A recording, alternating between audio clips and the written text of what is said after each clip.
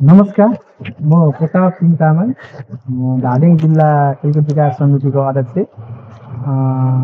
बागमती प्रदेश खेलकुद परिषद अ, द्वारा अ, पुनः तेस्रो पटक चाहिँ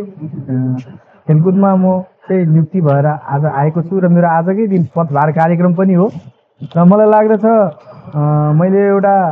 खेलकुदमा राम्रो र अझ राम्रो गर्नको लागि फेरि पनि म तेस्रो कार्यकालमा आएको हो र मैले धादिङमा रहेका खेलकुदका समस्या र यहाँका खेलाडीहरूको लागि उहाँहरूको लागि गर्नुपर्ने पहल कदमी र उहाँलाई अझ धादिङ जिल्लालाई खेलकुदको माध्यमबाट अझ माथि छलाङ मार्नको लागि चाहिँ मैले यो कार्यकालको लागि चाहिँ आएको हो र आगामी दिनमा मैले खेलकुदका पूर्वाधारदेखि लिएर खेलकुदका चाहिँ प्रतियोगिताहरूमा धादिङ जिल्लाका नतिजाहरूलाई उत्कृष्ट ल्याउनको लागि र अझ पहल कदमी गर्ने गर्ने प्रतिबद्धता जनाउँदै र मलाई जुन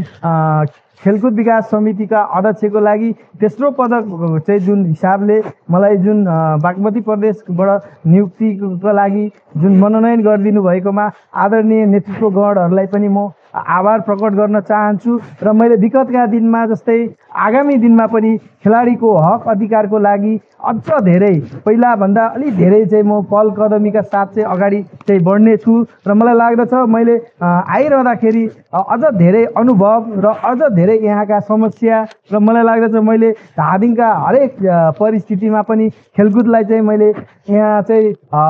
विभिन्न चाहिँ आवश्यकताहरू पुरा गर्न नसक्ने अवस्थामा हाम्रो इक्विपमेन्ट नभएको अवस्थामा बजेट कमी भएको अवस्थामा पनि धादिङ जिल्ला खेलकुद विकास समिति र धादिङ जिल्लाका खेलाडीहरूलाई मैले जुन चाहिँ अग्र स्थानमा चाहिँ पहल कदमी गरेर अहिलेसम्म मैले ल्याएको पनि हो र मैले चाहिँ आगामी दिनमा पनि खेलकुदका समस्या र खेलकुदका चाहिँ तपाईँका खेल मैदानहरू र खेलकुदका स्तर उन्नतिहरू र खेलकुदका लागि अभाव र प्रभाव पर्न नदिनको लागि फेरि पनि मैले यहाँ नेतृत्व लिन आएको हो। र गर्नुपर्ने काम अझै बाँकी छ।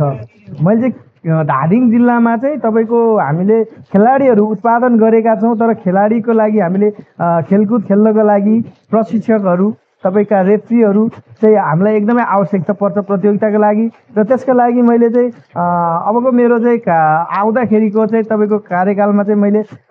जिल्लाभरिका सम्पूर्ण खेलाडीकै मध्येबाट उहाँहरूलाई निर्णायक रेफ्रीहरू चाहिँ बनाउने र अझ यहाँ गर्नुपर्ने काम धेरै छ। यो कबड हलहरू अस्तव्यस्त छन्। यहाँ यहाँ खेलकुदका चाहिँ तपाईँका छेकबारहरू खेल गर्नको लागि चाहिँ हामीलाई यहाँ एकदमै अप्ठ्यारो समस्या परिरहेको छ। त्यसको लागि मैले पहल कदमी गरेको छु र लाग्दछ म आइरहँदाखेरि